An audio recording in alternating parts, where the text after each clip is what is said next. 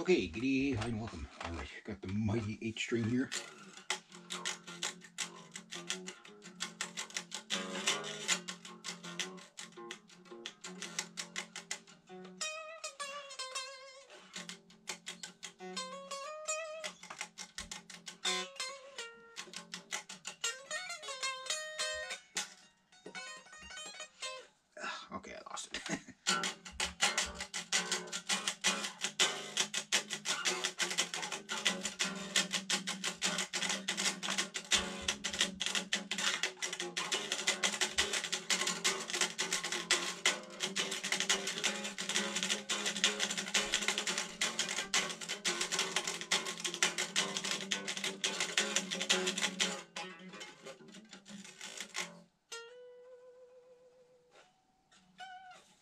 Alright, so a little bit of playing around there.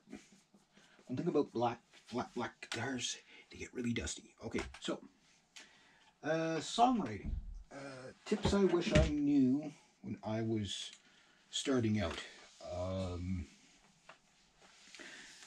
I'm a guitar player who has multiple guitars, ranging from six strings to eight strings, and I have a seven string, and I've got Floyd Roses, and I've got fixed bridge, and I've got you know, coil taps, and I've got all kinds of crazy stuff that I can do with all these crazy guitars I got. But what's the point of having all these guitars? Well, the point of having all these guitars is there is no point of having all these guitars. Um, the point is to have a tool. Uh, and the tool, such as an eight string, can do things the six string can't do. And the seven string is kind of the compromise between the six and this and the eight string. And probably bang for the buck, probably as a writing machine, the best writing machine you can get is a seven string guitar. Just because there's no limitations, because you can even do your bass lines well. The eight string, you can even definitely do the bass lines.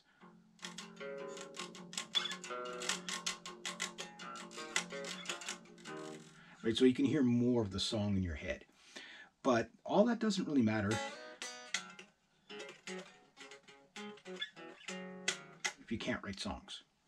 So one thing I wish I knew when I was starting out, right from the get-go, was even though I was mo like most people, you're going to start out doing covers, and you know you can you might learn music theory.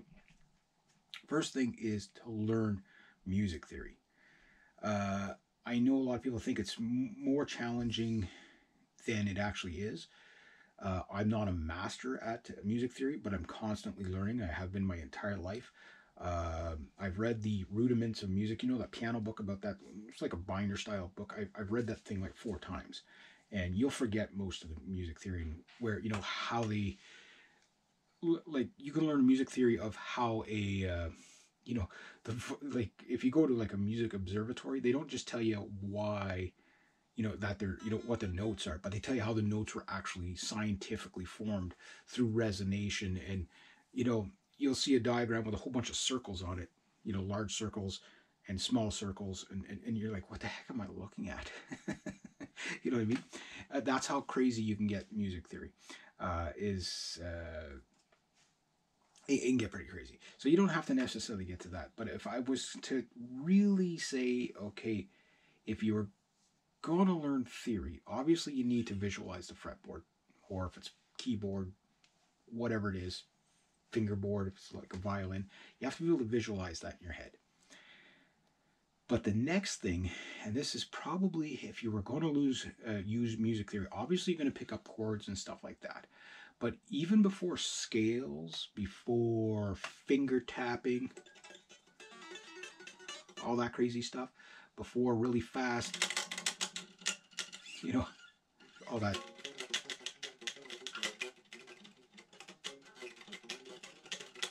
That's great to be able to do that, but to know what to do when.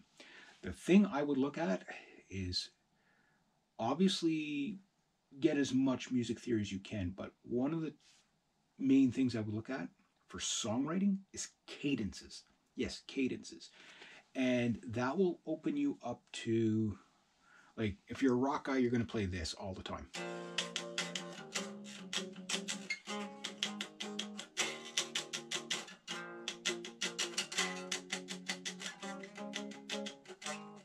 There's about 10,000 songs that you know in your head right away from just hearing that because it's the same cadence whether I played here.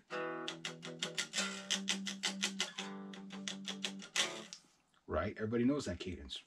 Here's a very popular one.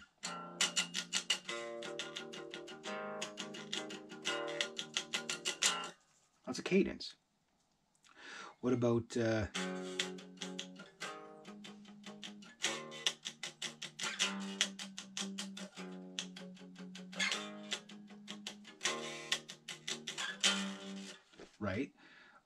135. Every punk song in the world. Uh, the cadence is what allows you to kind of formulate a song in your head already. So, cadences and intervals. So, sounds pretty cool, but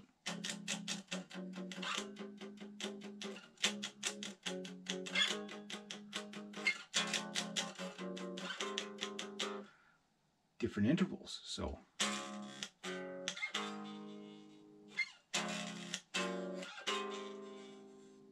gives you something different, right? Or we'll go same cadence, right? So the cadence is just basically uh, when you're looking at relative keys and stuff like that, and you want to pick out, say, uh, key of C, whoop, eight string. Year and a half later, I still, I, I that was like some sort of a G, uh, G7 chord or whatever. I, my fingers just automatically think six string and it goes right to the middle of the neck. So your key of C, right? You can start off in the key of C. Look at your uh, circle of fifths. You should have a poster of the circle of fifths on your wall. You really should and you could see, okay, if I want to do a one, three, five, it's this, this, and this. Okay, and then you don't have to think about it. And the more you do this, uh, you want to do like say a one, four, five, which is like a blues, uh, Nashville stuff, right, country stuff. Um, you know, there's uh, there's goes on and goes on, and on and on and on. Um, you know, you can do uh, classical cadences, uh, blues cadences, all that. But if you have these cadences in your head, the one thing that happens is you instantly can hear it in songs. So it's like you're like trying to figure out a song and the guy's in a weird tuning or whatever, but you hear the cadence and it's like, okay, well, he maybe he's playing, uh, you know, just like you know the, the a one three five, right? like super song, punk song, but it's like in whatever whatever it's in in different uh, different uh, you know different key, different tuning, whatever, and he's just playing it a different way. But you can hear the cadence, so then you know exactly what. All you have to do is figure out the first chord he's playing, then you'll figure out everything else from there. Uh, but not only that, it allows you to do more than 1950s almost every song, whether it was slow or fast. 1960s, almost every song, whether it was slow or, slow, slow or fast. 1980s, 1990s, almost every song. You, you know what I mean? And, uh, or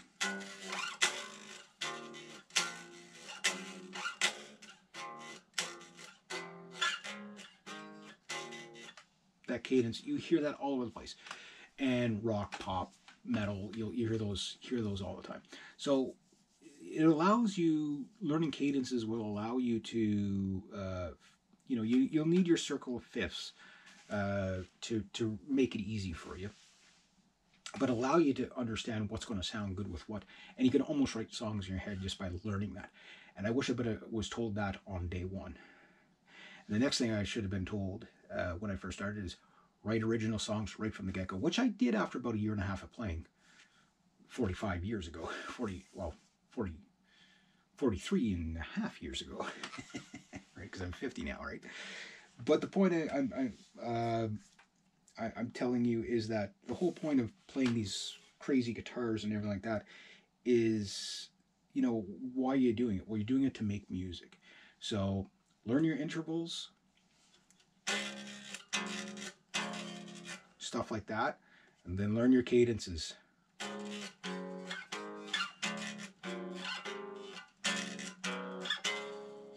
All the same cadence. There you go. And three different intervals.